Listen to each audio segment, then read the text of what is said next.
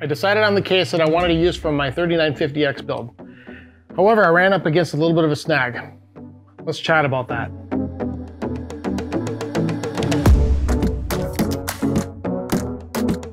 All right, so this is the case I decided to use for the build. Super excited to get this. It's the uh, Inwin 925. Uh, very clean case. Uh, it's not the case I really wanted. I want I wanted to get my hands on an Inwin 928, but they don't make them anymore. They're sold out. I can't find one anywhere.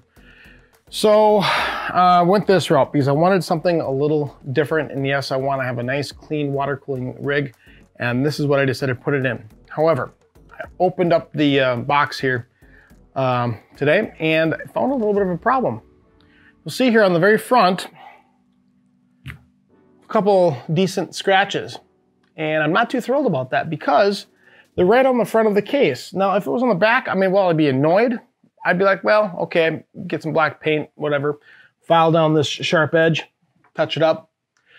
Uh, but it's on the front and it's right near the logo, which is gonna be lit up. And frankly, uh, the IO's on the front and I am really disappointed that this is how it was. And pull them out of the box and they got these on each side pretty well protected inside of a big black bag. And fr frankly, there's no reason for this to have happened. So there's no holes in the boxes or anything. So this had to have happened pre-packaging, meaning it was damaged before they put it together. a little frustrated. Now I've reached out to Inwin. I'm waiting to hear back what they might have for a solution. I'm hoping they just send me a new case, give me a label to send this one back. Um, but I'm not really sure on how they're going to handle this type of a situation. Um, I did send them the video of me unpacking this in the very beginning. Regardless, this is the case I'm going to use, either this exact one if they don't work with me, or, uh, and I'll figure something out, or another one of these. We'll see, whatever it is. So let's, uh, let's kind of dive into this and why I decided to go with this case. First off, very clean. I mean, this thing is very polished. It's an all aluminum, aluminum case, basically. Um, nice tempered glass uh, front and back which I think is really nice. It's got a radiator support and um, you can do up to a 360 in the front if you remove the um, hard drive cage, which is in here, and I'll show you that in a second. And you can do 360 on the top. And the other appeal with this, which I decided to go with, after I take off this front, and you know, these screws are really interesting. They're just these little aluminum machine screws, which I actually really like. That's how simple it is to take this off. Another reason I decided to go this route is I'm going to be using a bunch of these throughout the case. And these are the uh, Crown EC120s and um, they do daisy chaining. So I won't have to worry about a whole bunch of wires that I have to worry about cable managing. I can route them through this and uh, hopefully it'll be really nice and clean. Once we get inside of the case here, we see a couple things. First off, this is advertised as being able to support up to an EATX motherboard, which what's going in here is it's the X570 Aorus Extreme motherboard. I'm going to put my 3950X uh, processor on here. It should allow for a nice, clean build. I'm excited because I'm also want to take advantage of potentially a vertical GPU here. So I'm probably installing a, um, a riser bar once I get this in here. And then we're gonna put a 360 rad up top, which I got a couple of these from uh, Course, or yeah, the Corsair ones. These are made in conjunction with Hardware Labs, so these are really nice radiators, at least they should be. I, I love Hardware Labs. I use them in my uh, main build, uh, my Genesis build. So I got a one for the front, a 360 for the front, and a 360 for the top. Now, I was playing with the idea of doing um, the CPU only as water cooled and then leaving my GPU air cooled, but I just don't think that that's going to look pretty enough. So I am going to be uh, water cooling an RTX 2080 Ti, uh, RTX 2080 Ti Strix card from Asus. And since it's only going to be the one, I should have enough thermal junction, if you will, or thermal dissipation, I should say, to uh, take care of the cooling of these cards. Uh, I'm not intending on massively overclocking anything. This is more of uh, an editing rig, and that's what I'm going to use it for, that and some gaming. And I'm, i really want to see how that compares to gaming on my 9900K with the 2080 Ti's on it. So that's what we're gonna be doing here. So I'm gonna put 360s front, 360 top. The one thing about this case that I find very strange is there's no radiator support for the rear. All they do is give you a spot for three 120 fans, which is nice to help pull some air out of the case. But I think a design flaw of this case is the fact it doesn't support a rear radiator.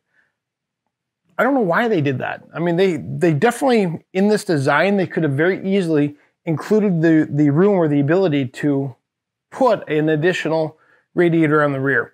Uh, so if that's a disappointing piece, there's there's two things that in this case to me are really disappointing. That and then secondly is that they don't allow for 140 millimeter fans as the implement. I'd love to be able to have a 420 top, 420 front, 420 rear. Well, that would be the ultimate case for this type of a, uh, of a case, but regardless, it should be fine with the 120 base for the fans. And then when you turn it around here, we're gonna take off this rear panel. You can see that you're gonna to uh, have to do some really nice cable management in here, which is a main reason why I decided to go with those EC Crown 1, uh, 120 fans. 140s would be lovely to be able to fit in here, but they're not. Uh, the EC Crown 120s. Since they're daisy chainable, I won't have to worry about cable managing a whole bunch of fans. And in fact, since I'm going to be doing very limited uh, drives in here, I'm just going to be using M.2s.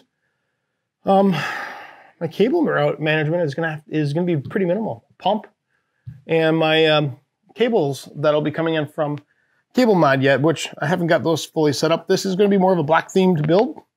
Part of the reason I went with this, and I'll show you that uh, probably in the next video with the rest of my parts. But I wanted to go over the rest of this um, case here as to what makes it appealing. You can mount three and a half inch drives here if you want to. You can also mount two and a half inch drives. Two and a half inch drive here, two and a half inch drive here, and then this is the sled bay where you have additional drive mount space. Now, you have to remove this drive bay in order to be able to put in a 360 front radiator. That doesn't bother me at all because frankly, I won't be using this and it'll just free up the uh, base of my the base of my uh, chassis here. So I'll have a nice, clean looking uh, water cooled build. As far as tear down goes, you can remove these both front and rear and you can literally remove or take apart basically the entire chassis, which I think is going to really make it a nice, clean, and easy to work in build. Well, all you do, and I'm just going to go ahead and take off these drives, or these uh, radiator sleds. Take these off. Yeah, take off this one too. Okay, so you take these off here, and one front fan and radiator sled, and then the top fan and radiator sled. Nice and clean. And then to work on the rear, you have these captive thumb screws, which are very clean. They're spring loaded. That comes off for you to put in your, your rear fans.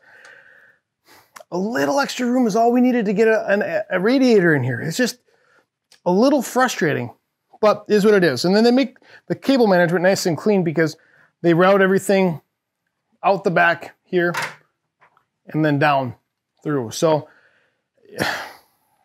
this case, one, while it is really nice, I don't want to sound negative. and it is very nicely made. Um, I just think they just could have made this a little bit better with a few extra details that they just, for whatever reason, didn't pay attention to, if you will. Attention to detail, right? The other thing, and I don't want to be negative on this case because again, I, th I think it's beautiful. I hate when they have this brushed aluminum like this. It marks and scratches up so easily. I mean, you get fingerprints all over it and dust and, uh, anyway, this is going to be exciting to work in. Should be nice and clean, but I'm very curious to see what they're going to do about this scratch on the front. This is just a quick overview of this case is what this is and what the basis of this build is going to be. I didn't want to go into a long video Uh, I am needing some information. I was hoping to be able to actually start this build today, but I needed to get a video out for one. And two, I'm waiting for uh, response back from InWin with regards to how they're going to hopefully make this right. I mean, it was damaged by them. I'm hoping they just do the right thing. Uh, send me a label to return this and send me a new case. Um, if not, well, we'll talk about that too and we'll proceed from there. Uh, regardless, this is what it is. So short video today. I just wanted to touch on what I'm using uh, for my build and why. And uh, that's about it. So anyway, hopefully you did like today's video. If you did, you know what to do. If you didn't like it, you know what else to do. Hopefully it's not that. Please hit that subscribe button for me, and we will see you in the next one. Thanks. Bye.